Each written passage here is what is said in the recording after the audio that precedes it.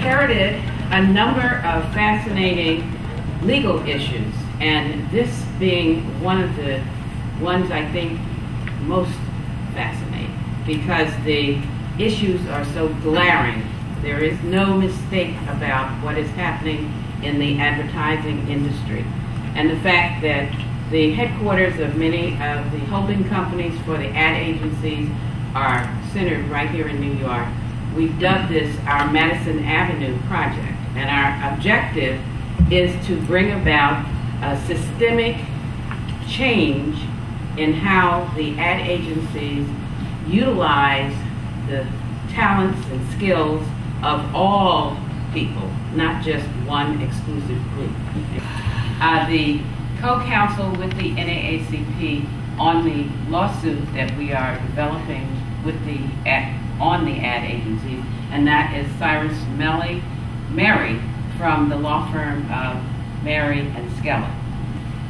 On my other right is the author of the fascinating and very devastating study that you're going to hear more about, and that is Mr. Richard Lapchick, who is, I have to get the name of his institution correctly, director for the Institute for Diversity and Ethics in Sports at the University of Central Florida, located in Orlando.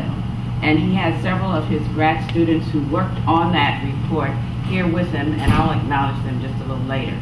Uh, with me in the audience are Naomi Robinson, Austin Moss, Devin Dignan, Brian Hoff, and Jameel Kittners. We think that having observed the sports industry closely over the past 25 years, they have gotten what is obviously true of most of corporate America that diversity is a business imperative. It's a moral imperative too, but for purposes of what, what we're meeting here today, it's the fact that it's a business imperative that I think takes precedence. In terms of the advertising industry's hiring practices, when you looked at all of the 67 ads together, including the ones produced in house, the numbers didn't change very much. There were 70 white men, five white women, and one Latino.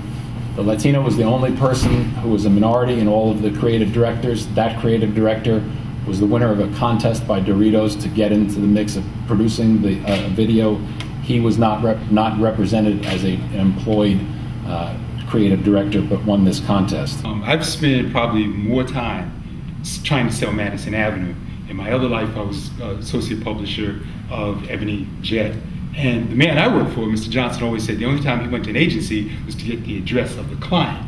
So, to, to your question, the only way this can truly be resolved is to put the pressure on the clients because the clients can dictate to the agencies they have to have diversity in house. This was the first year uh, that we've done this. Our intention at the Institute is to do this as an annual basis, that this would be a baseline of data that we could use to see how things have changed, if they've changed in the years ahead, much like we did with the NFL, Major League Baseball, the NBA, WNBA, Major League Soccer, and college sport. When we started doing it with them, they were all doing pretty poorly, except for the NBA, and now they're all doing much better on the, on the, in these areas. So that our hope next year is to have uh, more ads that have creative directors that portray America a greater representation, and that the ads themselves look like America. Sam Goldsmith from the Daily News. I think a lot of us in this room can agree that these ads are offensive. Though I wonder if the general public feels the same. Is there any way to gauge that or gauge what effect it has?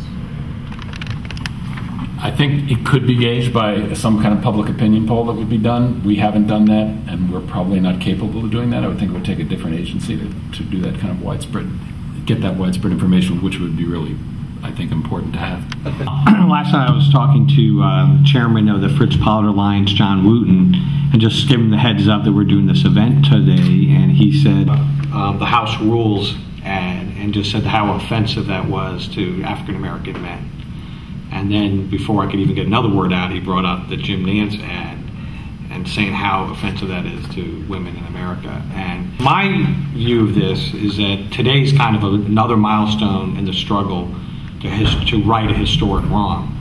And there are those in the industry, based on communications we've had, that are in a state of denial. They'll say to us, this is an issue of the past. Sure, there was a problem, but there's not a problem today. And that's what actually motivated me to reach out to Dr. Lapchick because our investigation has shown there are very few people of color, if any, who are creative directors in the mainstream part of this industry.